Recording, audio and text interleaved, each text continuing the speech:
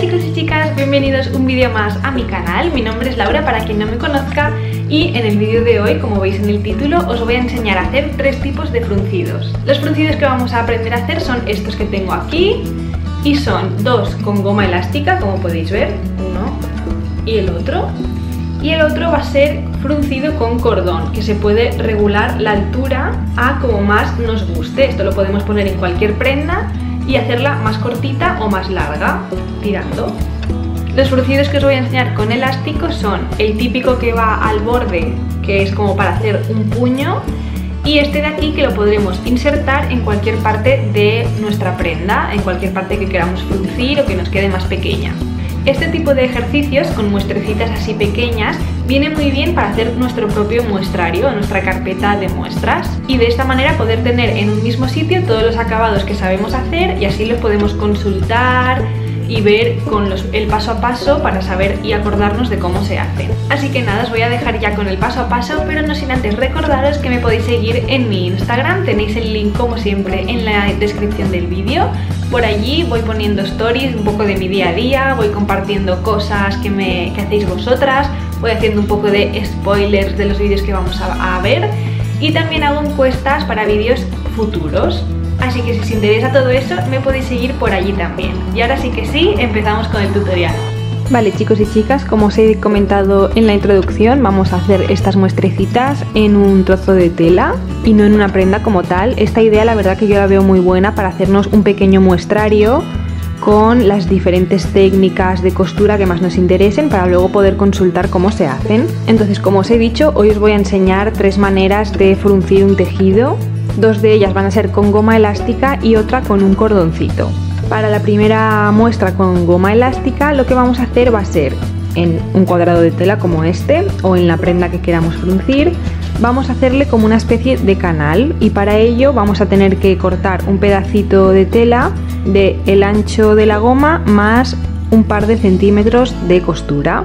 En mi caso la goma es de 2 centímetros y como veis le tiene que sobrar un centímetro por cada lado. Si le sobra un par de milímetros más, mejor, porque como vamos a coser por encima, no vaya a ser que luego eh, no nos quepa la goma por el canal. Entonces lo que vamos a hacer primero va a ser planchar los extremos de este tubito un centímetro hacia adentro, ¿vale? Yo aquí ya lo tengo planchado, como veis queda así. Y ahora lo que vamos a hacer va a ser colocarlo en la parte de nuestra prenda que queramos fruncir. Lo colocamos encima y pasamos un pespunte bien al bordecito, tanto en el borde de abajo como en el borde de arriba.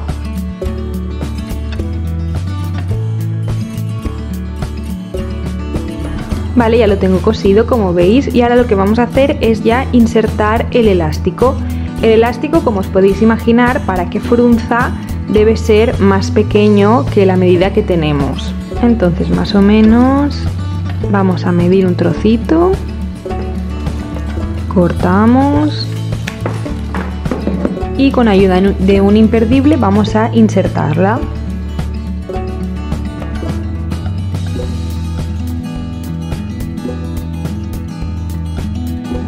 Cuando el extremo sin imperdible nos toque ya el borde, ¿vale? lo vamos a poner justo aquí y le vamos a pasar una puntadita para sujetarlo. También lo podemos sujetar con alfileres, pero en este caso como es una muestra, lo voy a sujetar con una puntada, ¿vale? Y así nos aseguramos que no se nos mueve y ahora seguimos pasando la goma.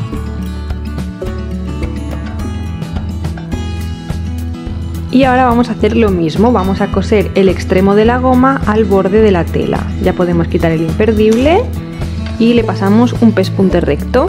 Y una vez lo tenemos sujeto para que el rizo se nos reparta bien y quede bonito simplemente vamos a estirar un poco. Y ya veis que se reparte perfecto.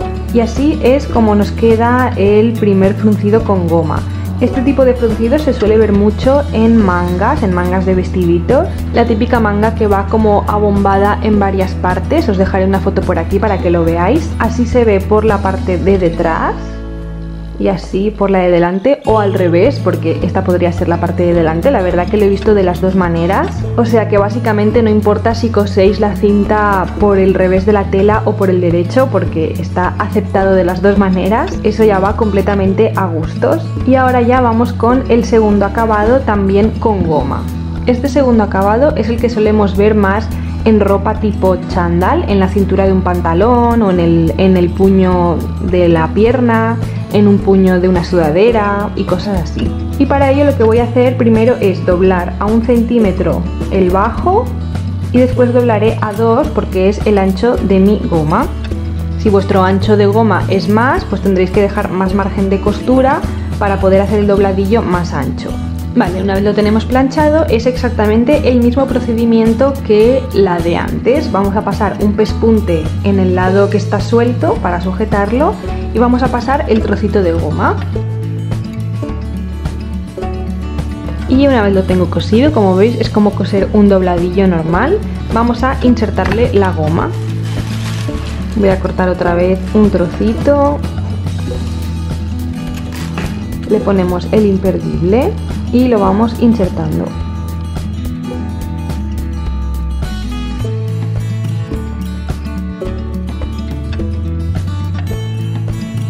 Sujetamos el extremo con una puntada como antes y seguimos pasando la goma.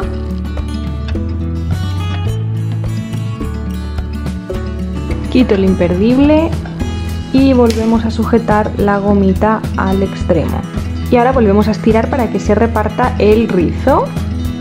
Y ya veis que nos queda perfecto y queda como un puñito. Este acabado si lo quisiéramos hacer en un dobladillo de una prenda ya terminada vale vamos a imaginarnos que este es nuestro pantalón ya cosido. Entonces lo que vamos a hacer es hacerle el dobladillo igualmente plancharlo. Pero en el trozo pues de la costura o donde os venga mejor vamos a dejar una abertura y por esa abertura será por donde insertemos el elástico. Y una vez insertado simplemente será cerrar la abertura y ya tendríamos el pantalón con la goma que nos quedaría de esta manera y cerradito. Entonces aquí tenemos la muestra de cómo insertar una goma en un extremo o en un borde. Y aquí cómo podemos insertarla en cualquier parte de nuestra prenda ya sea una manga, la cintura donde queramos. Le, hacemos un canal por la parte de detrás y le ponemos la goma donde queramos. Y si quisiéramos guardarlo como muestra en una, en una carpeta a modo de muestrario, lo que os recomiendo es que le paséis al borde un zigzag o un overlock para que no se vaya deshaciendo y que nos quede más bonito y duradero. Ahora os voy a enseñar la tercera muestra que va a ser también un fruncido, pero en vez de con elástico va a ser con cordón. Para este tipo de fruncidos también vamos a utilizar una cinta que vamos a coser a la prenda que queramos hacerle el fruncido. Este tipo de fruncidos los he visto mucho en laterales de vestidos para poder regular el largo del vestido. Aquí os dejaré, os iré dejando fotos. También los he visto en camisetas, en la parte frontal y también en camisas largas. Así que como veis se lo podemos poner a un montón de prendas. Así que lo primero que vamos a hacer va a ser planchar. Vamos a planchar tanto la muestra como la tira. La muestra vamos a hacerle como una especie de bajo, ya que normalmente las prendas tienen su, dobladillo, ¿vale? Se lo voy a hacer así doble y normalmente las tiras llegan hasta el final de la prenda, entonces a la tira también le vamos a hacer un dobladillo, que luego irá así boca abajo. Entonces vamos a hacer eso, le vamos a hacer el dobladillo a la muestra, esto lo doblaremos un centímetro hacia adentro, la parte de arriba también y los extremos también un centímetrito hacia adentro. Vale, ya tengo mi dobladillo planchado y como veis la cinta también con los extremos hacia adentro. Y nada, lo vamos a colocar como hemos hecho hasta ahora. Yo lo pongo justo en el bordecito o un poco más arriba. Me lo sujetaré con alfileres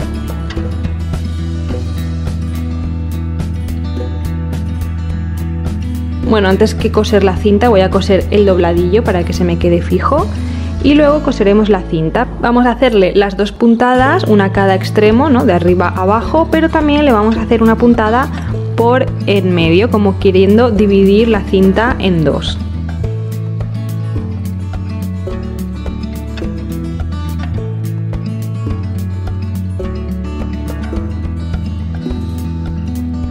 Vale, como veis ya lo tengo cosido, tengo mi dobladillo sujeto y la cinta también con la costura de en medio. Esta es la parte del revés porque tenemos el dobladillo aquí, entonces por delante se ve así. Y lo que vamos a hacer ahora va a ser pasarle un cordón. El cordón lo podemos hacer del mismo tejido del que estemos haciendo nuestra prenda o podemos coger uno de los que vienen ya hechos. Yo he cogido uno de cola de ratón y lo que vamos a hacer simplemente va a ser con un imperdible pasarlo. Lo vamos a empezar a pasar por el bajo, o sea, por donde hemos hecho el dobladillo. Vale, ya lo hemos sacado por uno y ahora vamos a, a tirar un poco y lo vamos a insertar por el otro tubito.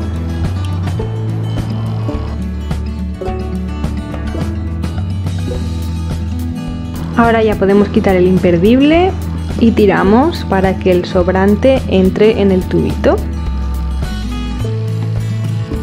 Y ahora sí que sí, ya podemos, como veis, fruncir nuestra prenda todo lo que queramos. La podemos hacer más corta, más larga, en función de cómo nos guste.